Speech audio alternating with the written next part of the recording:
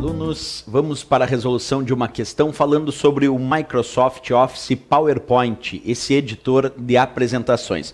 Vamos à leitura da questão comigo, acompanhe aí na tela. Observe as figuras a seguir, extraídas do PowerPoint 2010, em sua configuração padrão.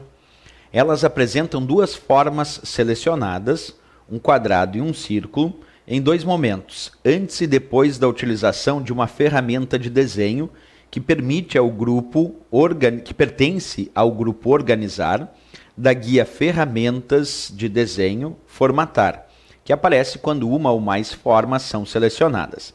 Assinale a alternativa que contém o nome da ferramenta utilizada entre os momentos das figuras, considerando que no momento antes as duas formas eram tratadas como se fossem um único objeto, e no momento depois as formas são tratadas como objetos independentes.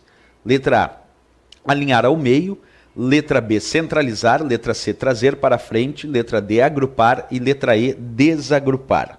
Bem, observando a imagem, ele mostra realmente uma situação antes, onde tanto o quadrado quanto o círculo parecem ser um elemento só, um objeto só. E na, na imagem que aparece depois, na opção depois, esses dois objetos, tanto o círculo quanto o quadrado, parecem objetos separados que estão selecionados ao mesmo tempo. Então, que comando ele aplicou para transformar o que estava antes em depois? Será que foi agrupar, desagrupar? Vamos dar uma olhadinha na prática usando o PowerPoint 2010. Então acompanha comigo. Primeira coisa, vamos aprender a desenhar essas formas. Quando nós clicamos na guia Inserir, existe uma opção chamada Formas dentro do grupo Ilustrações.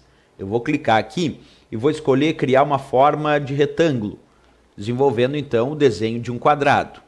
Agora, vou clicar novamente no botão Formas e vou pedir a ferramenta Elipse, elipse, e vou desenhar uma determinada elipse na forma de um círculo.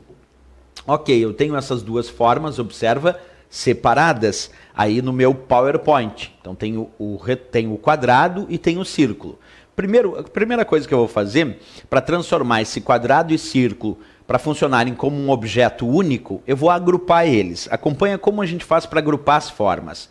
Eu primeiro vou selecionar o quadrado, depois eu vou selecionar o círculo. Como é que eu faço para selecionar os dois ao mesmo tempo? Eu posso clicar no quadrado, pressionar a tecla Shift e agora teclar no, no, clicar no círculo.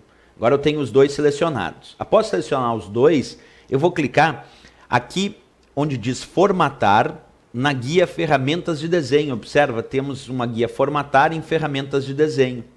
Então, clicando nessa guia ferramentas de desenho na opção formatar, aqui nós temos uma opção chamada agrupar. Observa, opção agrupar. E quando eu clicar e escolher agrupar, ele agrupou esses dois objetos agora, o, o quadrado e o círculo, como se fosse um objeto só. Como agora eles estão funcionando como se fossem um objeto, basta clicar e arrastar que eles têm o comportamento de um objeto único. Essa é a situação que na prova ele escreveu como a situação antes. Mas ele quer saber o que aconteceu com a situação antes para depois. Então, depois que ele fez isso, agrupou, depois ele resolveu desagrupar. E olha como fica quando a gente agora escolhe de novo lá as ferramentas de desenho. Agora vou clicar no botão chamado agrupar, só que na opção chamada desagrupar, para desagrupar esses dois objetos, transformando novamente esses dois objetos em objetos individuais selecionados ao mesmo tempo. Então, se a gente voltar para a questão agora e observar a imagem, que aconteceu levando em consideração a situação antes mostrada na imagem aí da prova e a situação depois. Qual foi a operação que ele aplicou? Sem dúvida nenhuma foi a operação desagrupar da letra E de Equador.